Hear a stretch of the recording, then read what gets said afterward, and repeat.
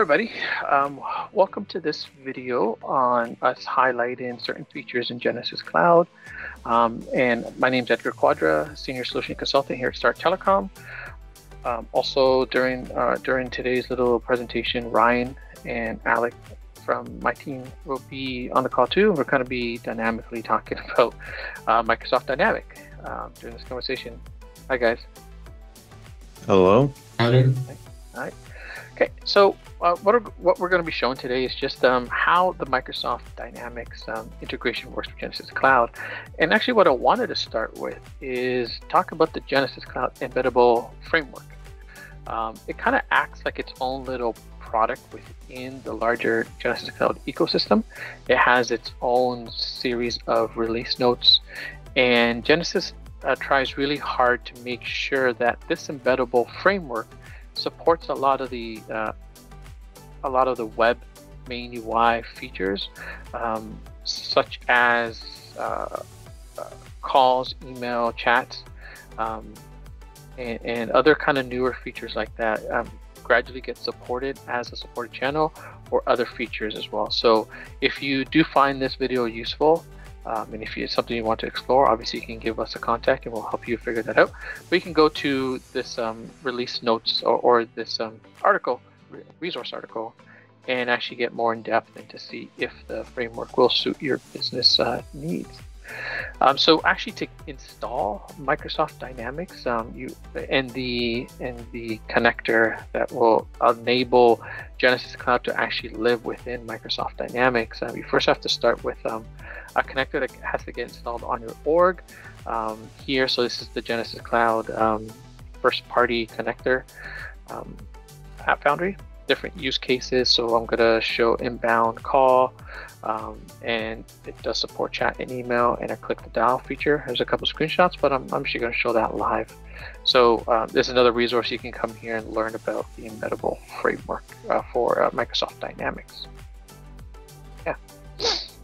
So what does it look like? Right. So I have um, Microsoft Dynamics running here in a little sandbox environment. And on the right hand side under the widgets area, there is this add-on. Um, it's actually labeled interaction interaction sync, um, but it's you open it up and it gives you a pretty uh, compressed version of the web UI that you're used to. So interactions will be available here. Um, start a new one, agent performance inbox. So everything you're kind of maybe used to on the left-hand side of the main UI is available in this drop-down menu, and other options uh, for it as well once that interaction is connected, all those telephony options that we're used to are along the left-hand side and are enabled uh, for that particular interaction. Um, and then finally, different queues or queue statuses or agent statuses are available um, as, a, as a drop-down selection here. All right, so actually I already have a call queued up. I'm going to go on queue.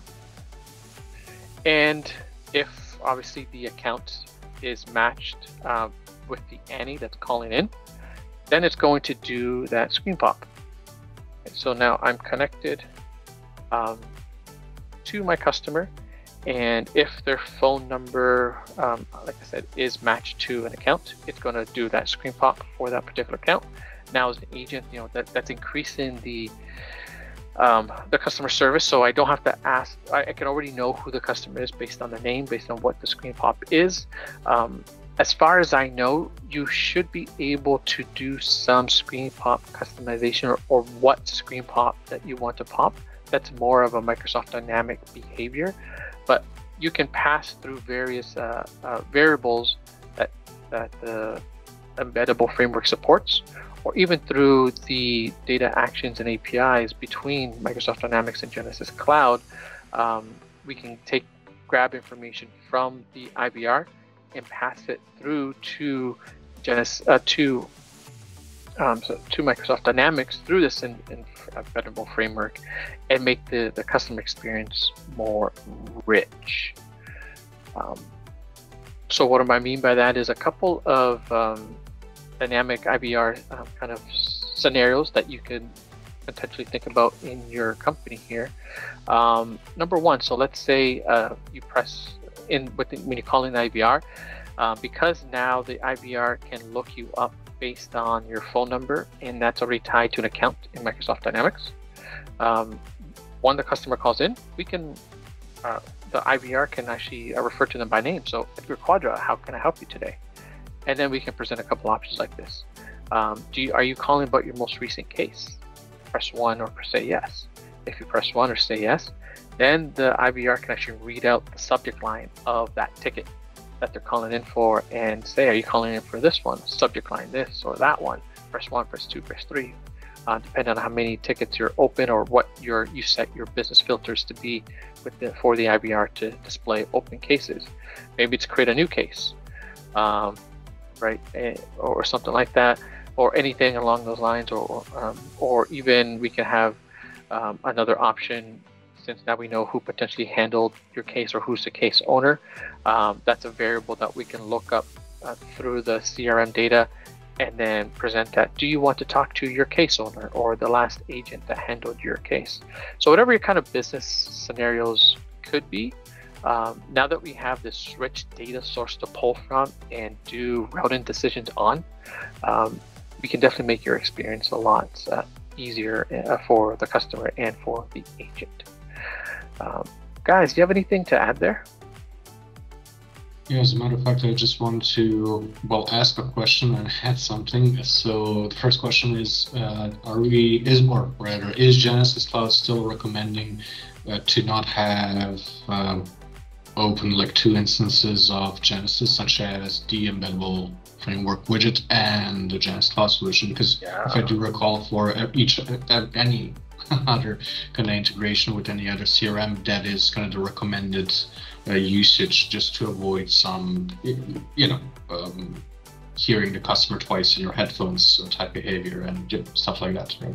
Yeah, yeah, that's a great point, Alex. So yeah, it's definitely recommended um, to make sure that your agents are trained on using, if you're going the dynamic this embeddable framework route, you only have this window open. You do not have Genesys open in a new tab. Um, it's going to cause a couple of things: status syncing issues, ringing in two different browsers where I'm going to answer the call, either you know in that main UI browser tab or in this one.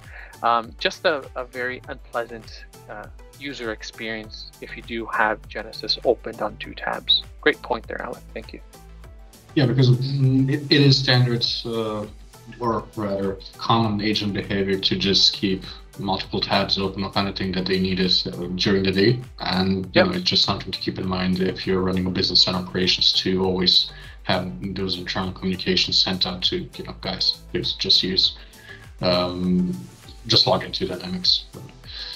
And what I want to add really is um, kind of gonna on on that custom integration front and when I say custom integration so which actions will be triggered by that uh, incoming uh, incoming interaction that can be anything and nothing as well and that is all custom so everything is built right. out through the IVR um, well within the IVR and even post IVR it could be you know some some actions that are tied um, or some actions on the Dynamics 365 front that are actually tied to the agent script that you could still pop open in the Genesys widget, if I'm not mistaken. So mm-hmm. it could you could technically have two uh, toolbars or two kind of tool sets in front of you. One kind of residing within Dynamics and the other one residing uh, within Genesys, but still visible on the same screen, which I think could add for some missing um, for for some missing functionalities in either one of these two pieces of software.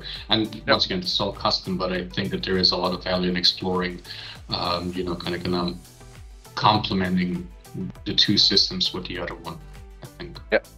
Yeah, you mentioned scripts. So let's say you do use Genesys uh, agent scripts as part of your workflow. Um, you can pull those up here. Um, so you'll notice that there was a script button here. Then I can actually call and use some of the Genesys Cloud scripting behavior or workflow in um, just just right on top of Microsoft Dynamics. So it's it's a very um, customizable way of, of, and Genesys does give that option to really um, figure out what is the optimal workflow for your agents.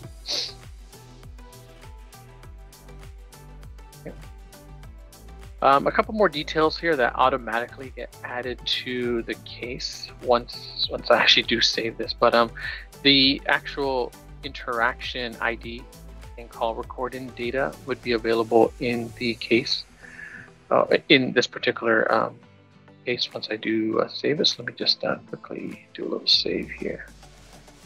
Um, yeah. Save and close. I think if I do a new case, uh, there would be an area here where the actual conversation ID um, related to this particular call, once I probably do actually have to save it, um, it will allow me to go ahead and um, sync it up here. So um, as you start running your own reports within Microsoft Dynamics, um, you'll be able to uh, look at what the Genesys Cloud interaction was. So here we go, um, the URL. So it's a clickable URL. So this will open up the call recording directly in the Genesys environment. Um, it also, once the call is saved, um, you'll be able to actually listen to the call recording directly in the Genesys in the Dynamics environment. So it's a pretty handy feature, really all-encompassing uh, to make to see again to complement your company's workflow um, if needed. Okay. So I'm going to end this call. Notice all the telephony options are available here. If you are a, if your company is a heavy user of transfers, so both blind and console transfers are available, people in queues, and this is pulling from the available peoples and queues resources from the actual Genesys um, or, or, or, your environment. I'm going to end this particular call. And the last thing I kind of want to show here is the is the click. So um, if I go to my customer accounts contacts in here, and if there's a particular number or list of contacts that I want to get called on, um, I'm going to just type in my previous phone number that I called in from before.